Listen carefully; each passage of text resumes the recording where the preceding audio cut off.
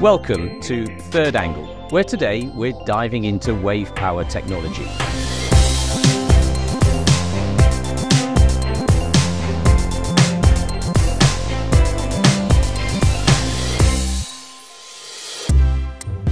I'm your host, Paul Haimes from industrial software company PTC.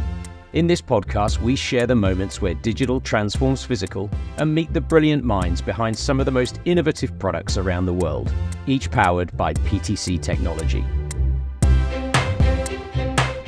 To hit net zero targets around the world, we need to harness the power of nature and smart technology. In this episode, we learn all about CorPower Ocean, supported by PTC's largest partner, PDS Vision, who are leading the way with a wave energy system that balances supply and demand without needing as much generation capacity, storage, or grid infrastructure. Our producer, Benoît Derrier, visited the company's testing center in Stockholm to see their latest prototype in action.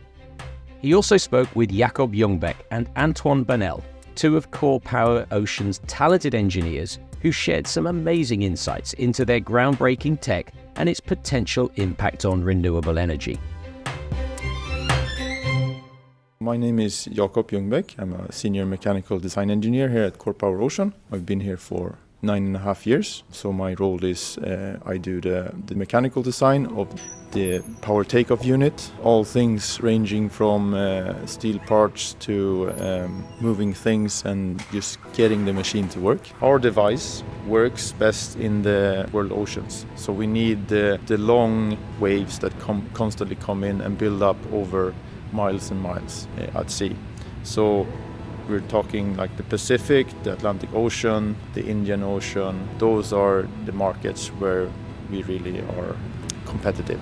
The entire European coast, uh, the western coast, has a very good wave climate, and Portugal is one of the best.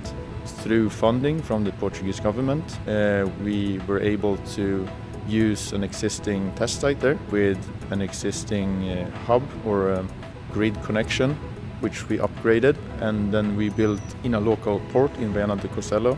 We built up our mobile um, hull uh, manufacturing unit which we also developed in-house so that we can build this on every site we go to. Instead of transporting the hulls all around the world, we can build it in a filament winding process.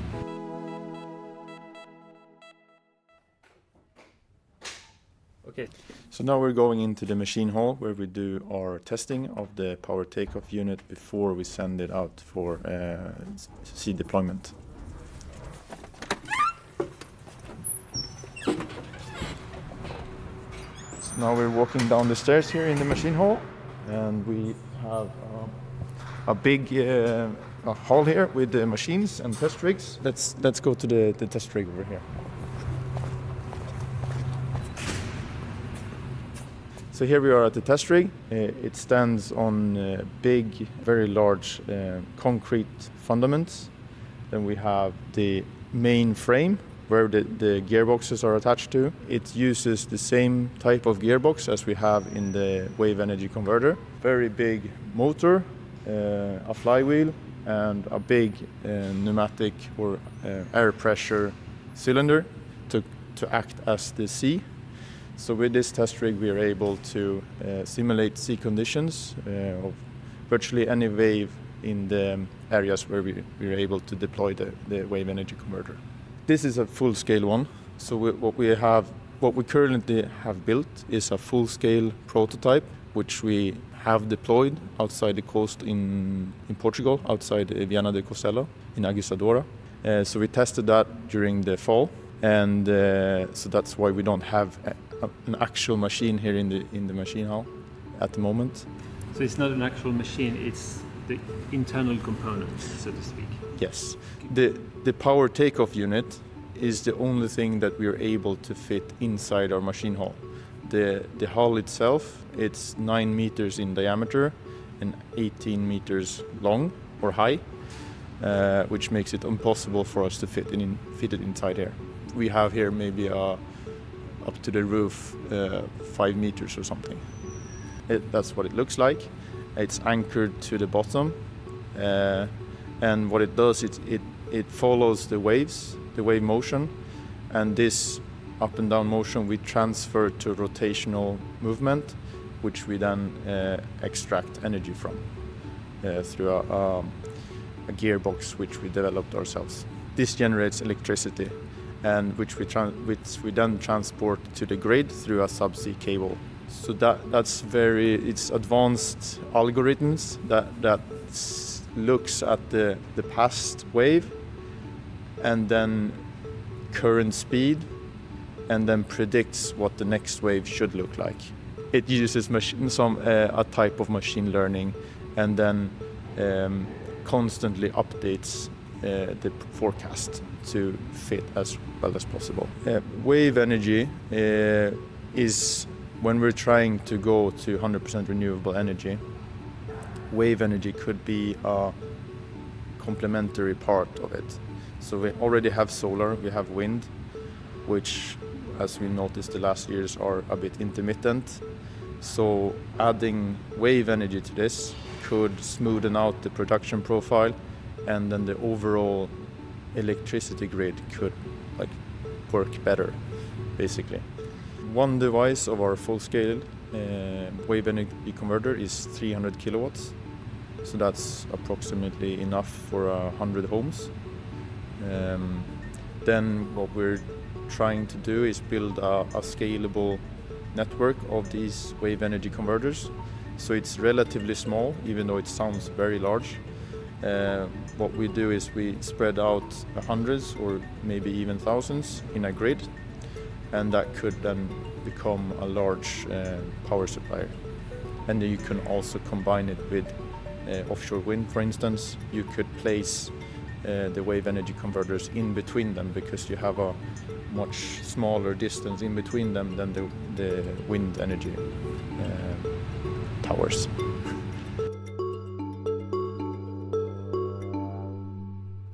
I'm Antoine Bonel, an engineer here at CorPower. I've been here for, for seven years now, actually. I've been part of the mechanical design team doing material research, then expanded in different fields, different directions in the, in the company. Especially, I have uh, spent a lot of time testing some critical subsystems, so doing some uh, component tests on especially uh, moving parts, so the sealing and guiding systems. That is, has been something that I did for several years now. We have here dedicated equipment that, uh, that we designed and uh, built and operate to test and validate the components that we use for these new devices. So our device is a, is a floating structure that is anchored to the seabed. And the floater is a, quite a big sphere, it's 10 meter diameter. Uh, so it, it, almost looks like a small house. Um, and we build that uh, on site, but then inside that uh, sphere we have what we call the power takeoff. So that's the main machinery that converts the wave movement into electricity. It's a big round sphere uh, that floats in the ocean uh, it goes up and down with the waves, and it's attached to the seabed.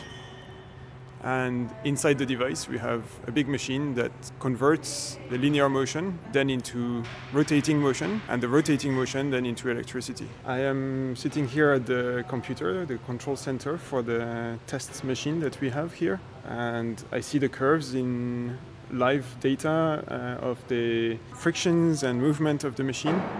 We also see all the sensors that we have in the machine with uh, pressure and temperature. So I can really know how those components are doing when we are testing them. And here on my left, there's the, the machine. And there's an enclosure, a safety cage. And inside, we have this machine that is about four meter long uh, with a crank and wheel mechanism of one meter stroke, which we can test the different subsystems.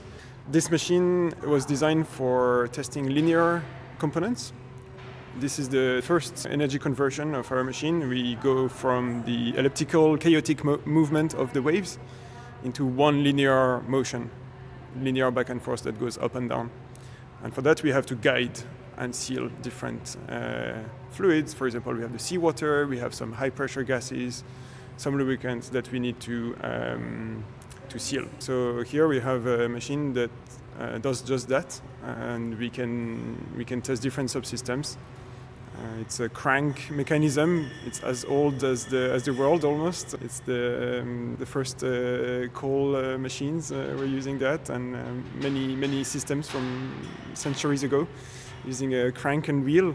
Uh, that is uh, just doing back and forth movement, and then that can push and pull on on all the components that we want to test. Let's make it move.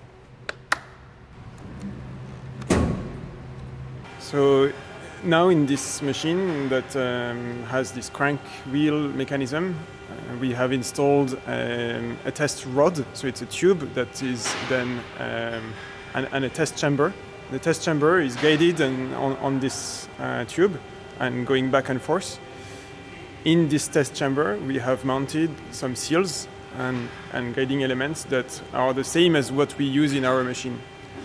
They are used to um, create this linear movement. They're used to also separate the seawater, not let the seawater inside the device. And we want to ensure that we have as low friction as possible, as low wear as possible, so that we can produce a lot of energy for a long time. And uh, here we are operating on a, a shorter stroke. It's uh, only one meter compared to seven meters in the real device. So it's a scaled down system um, so that we can test at lab scale and uh, it still looks exactly the same, just smaller. Um, and, and this is how we test the new systems that we want to have. We are a company creating machines to make low carbon electricity. Uh, so fighting climate change is, is uh, the core of our DNA because uh, obviously people join the company for that reason. We have some people coming from other industries that wanted to do something um, that has a, a mission uh, to create this low carbon electricity. Um, so I believe that everybody is already quite engaged in the in the core business model. I would say. Um, and then we have we wanted to go beyond because of course we are uh, all employees we are uh, very aware and concerned for some uh, of us about sustain sustainability topics. So we created then uh, an employee group uh, to discuss uh, what we think, what we feel uh, personally, but also and mostly at work. Um, and uh, we quickly went in very interesting topics. For example, the, uh, who do we want to work with? who do we want to sell our technology to? We had already external partners that were doing carbon calculations to see are we actually low carbon? um, how much emissions do we need to, to have uh, to produce this electricity. And very quickly, we, we have proven uh, with, the, with the data that we are actually very low carbon already at the prototype stage.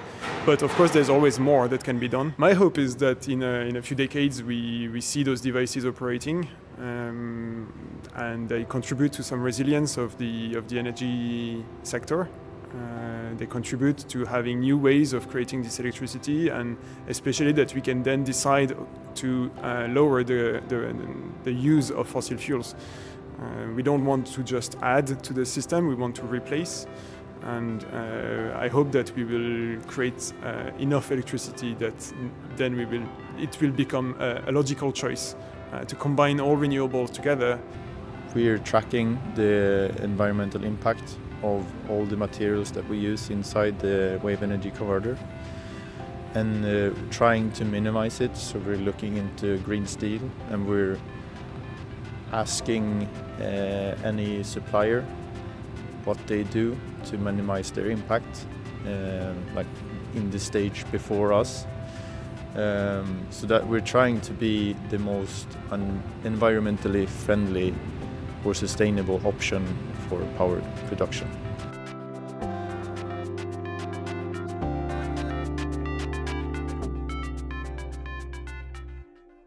That was Jacob Ljungbäck and Antoine Bonel telling us about CorPower Ocean's fascinating solution to lower the total cost of zero carbon electricity.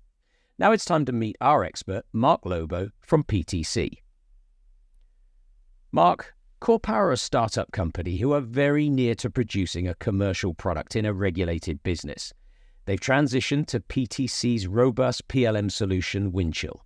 Can you give your insights to how they're going to benefit from using Windchill in their business? Let's talk about CorPower Ocean. They are on a mission to make the world's first commercially successful wave energy converter. So, despite being a young scale up, they felt that they needed to adopt PLM technology early to minimize some of the inefficiencies they saw. When you think about the complexity involved from an engineering perspective, this is where Windchill really shows its strength. So, why don't I highlight a few areas where CorPower really benefited from and will continue to benefit? So the first one is around document and CAD data management. So if you think back, geometric models of the mechanical and hydrodynamic components form the basis of the digital models of the wave power plants. Now the CAD designers at CorPower use a seamless integration to Windchill to save and manage their CAD models from different CAD providers. In fact, a huge benefit for CorPower with the use of Windchill was that they were able to manage these CAD designs from various CAD vendors. In the future, CorPower will be able to securely manage documents, presentations they got to put together, and calculations, and securely and traceably connect that through the Microsoft Office integration. So that's the first thing. Now, once you start creating all of this documentation, you need to be able to collaborate. And Windchill offers great project management and project planning activities where you can think of activities, milestones, and deliverables and ensuring that the project progresses in the right steps the idea generation, development process, simulation, and even creation of prototypes really important for scale up. Windchill ensures that there's an easy capture and detailing of these new ideas with industry proven project management methods that allow these cross functional teams, both internal and external, to work with their collaboration partners. So that's number two. The third one is change management. As you're starting to create all of this data and starting to collaborate, you really need Windchill that has a best practice change process solution that allows all of these different product development parties to instantly access all the necessary data in order to improve product quality, reduce their cost, minimize product inventory for the future, and improve time to market by minimizing manufacturing downtime when they get to that scale up. While it was great to have all of this awesome technology at their disposal, it was really very important for CorPower to also have the right implementation partner working lockstep with them on this journey. To this end, CorPower has been supported by PTC's largest partner, PDS Vision. So PDS Vision helped CorPower to realize the need of the digital thread and they were a fundamental partner in the adoption of PTC solutions, having worked closely with them throughout the entire process from realization to implementation, training, and support. So, just to round this out, CorPower's vision is a sustainable future powered by the ocean for generations to come. And Paul, here at PTC, we're proud to be part of that journey. Thanks to Mark Lobo for teaching us about PTC's robust PLM solution, and our guests Jacob and Antoine for sharing CorPower Ocean's vision, and our producer Benoît Derrier for guiding us around the company's workshop. Please rate, review, and subscribe to our bi weekly Third Angle episodes wherever you listen to your podcasts, and follow PTC on LinkedIn and X for future episodes. This is an 1860 production for PTC. Executive producer is Jacqui Cook, sound design and editing by Rema Mukena, location recording by Benoît Derrier, and music by Rowan Bishop.